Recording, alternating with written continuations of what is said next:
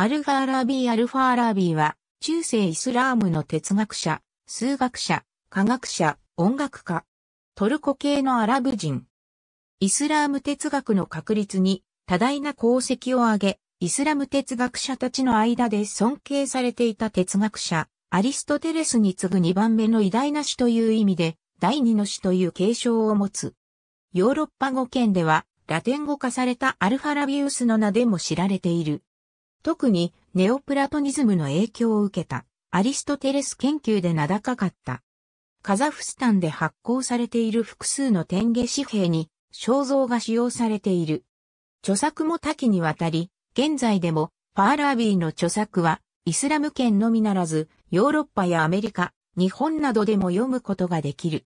著作、ウトクト市の住民が持つ見解の諸原理と、知性に関する書簡が、中世思想原点修正。11イスラーム哲学に日本語訳されている。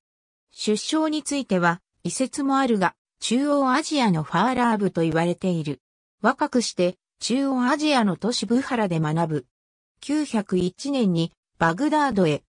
当地でファーラービーの秀逸ぶりは広く知られ、東大切手の大学者となっていった。950年にダマスクスで80歳で死去。彼は特にアリストテレスの研究に力を注ぎ、その研究所は後の世にも多くの影響を与えた。彼はイスラームに哲学の概念を導入させることにより、イスラム理解をより深められると考えていた。そのためには、イスラームでは真理を獲得することこそが真の目的で、人はこれにより真の幸福を得られると説いた。彼は論理学にも優れており、彼の哲学は後のヨーロッパで大いに論じられた諸問題提起の下地を作った。また、スーフィズムの信奉者でもあった。アルファ・アラービーの様々な出自の由来の記述は、それが彼自身が生きている間には、具体的な情報を持つ誰かによって記録されなかったことを示し、伝聞や推測に基づいている。彼の生涯はほとんど知られておらず、初期の情報源として彼自身の論理学と哲学の歴史をたどる中での自伝的な文章と、アルマスーディー、イブン・アンナディーム、イブン・ハウカルなどによって簡潔に述べられているだけである。サイード・アル・アンダルスイーは彼の伝記を書いた。12から13世紀のアラビアの伝記作家は、このような手近に事実を持たず、彼の生涯について既存の叙述を利用した。ある不体的な記録から彼は、人生の大半をバグダードでキリスト教徒の教師であったユハンナー・イブン・ハイラーン、ヤフヤ・イブン・アディ、アブー・イスハーク・イブラヒーム、アル・バグダーディなどと過ごしたとが知られている。その後、ダマスカスやエジプトで過ごし、再びダマスカスへ戻り950から951年頃に死去した。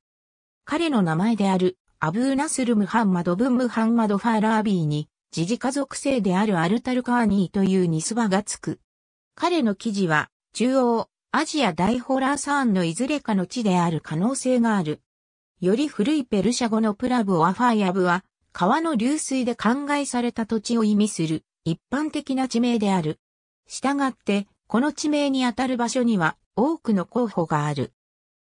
例えば、現在カザフスタンのヤクサルテスにあるファーラーブ、現在トルクメニスタンのオクサスアムーダルヤーにあるファーラーブ、さらにアフガニスタンの大ホラーサーンにファールヤーブなど、13世紀にはヤクサルテスのファーラーブはオトラールとして知られた。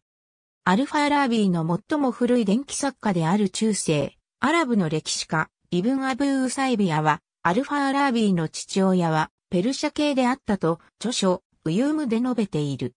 1288年頃に生きていたあるシャフラズーリーも、アルファーラービーが、ペルシャ人家庭で生まれたとしている。ジョージタウン大学の名誉教授、マジド・ファクリーによれば、ペルシア人血統の軍の士官であったという。ディミトリ・グタスは、アルファーラービーの著作にはペルシャ語、ソグド語、さらにはギリシャ語での引用や影響が含まれているが、トルコ語は含まれていないことに注意している。ソグド語が彼の母語であるという提案もされている。ムハンマド・ジャバド・マスフールは、イラン系言語を話す中央アジア人であることを主張している。トルコ系出自説で最も古い言及は、歴史家、イブン・ハリカーンのワハヤートによる。ファーラーブに近い和水寺の小さな村で、トルコ人の両親より生まれたと述べている。この記述に基づいて、現代の学者の中には、彼がトルコ人であるという人もいる。ギリシャ出身のアメリカ人アラブ学者であるディミトリ・グタスはこれを批判する。イブン・ハリカーンの記述は、イブン・ウサイビアによって、初期の歴史的記述を目的とし、アルファ・アラービーのトルコ人起源を証明する目的で、例えば追加されたニスバであるア・トゥルクなどを使用する。これは、アルファ・アラービーは決して用いなかった。イブン・ハリカーンをコピーしたアブルフィダーは、トゥルクを変更して、彼はトルコ人であったとした。この点に関して、オックスフォード大学教授、シー・ボスワースは、アルファ・アラービー、アルビー・ルーニー、イブン・シーナーなどの偉大な人物を熱狂的なトルコの学者によって彼らの民族に結びつけられていると述べている。アルファーラービーはほとんどをバグダードで過ごした。イブン・ウサイビアによって保存された次女の一節でアルファーラービーはユハンナー・ビンハイラーンの下で分析論や後書きなどの論理学、医学、社会学を学んだ。すなわち伝統的協定に従ってポルピュリオスのエーサゴンエアリストテレスのカテゴリアイ、命題論、分析論前、後書きを学んでいった。彼の死であるユーハンナー・ビンハイラーンは、アッシリア教会の聖職者であった。おそらく、あるムクタディルの治世中に、ユーハンナーが没するまで、その期間は続いたとあるマスーディーは記録している。彼は少なくとも942年9月末までは、バグダードにいたとウトクト市の住民が持つ見解の諸原理で述べている。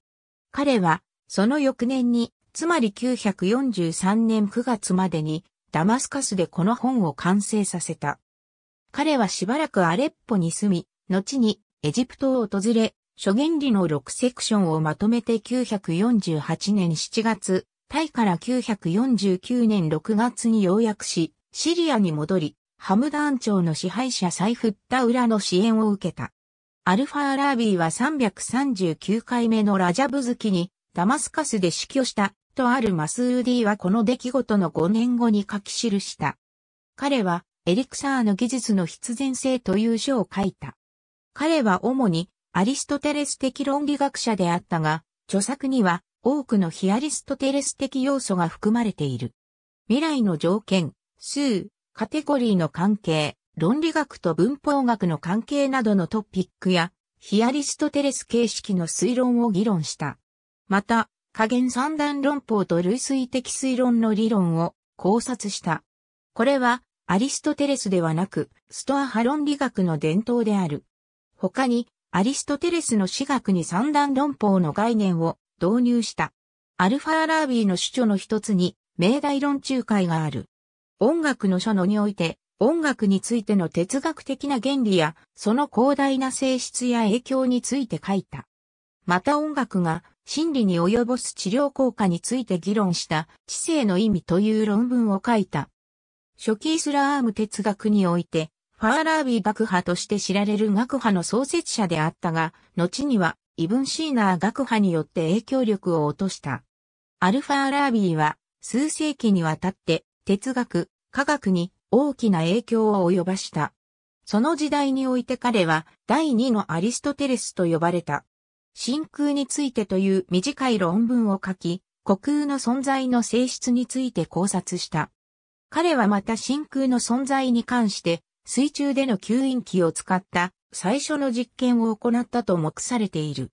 彼の結論は空気は利用可能な空間を埋めるために拡張できるということであり、完全な真空は不合理だということだった。都政論、ウトクト氏で社会的心理学の原理を書いた。また、ウトクト氏24章に名の出ている夢の原因についてという論文では、夢解釈と夢の性質と原因を弁別した。ありがとうございます。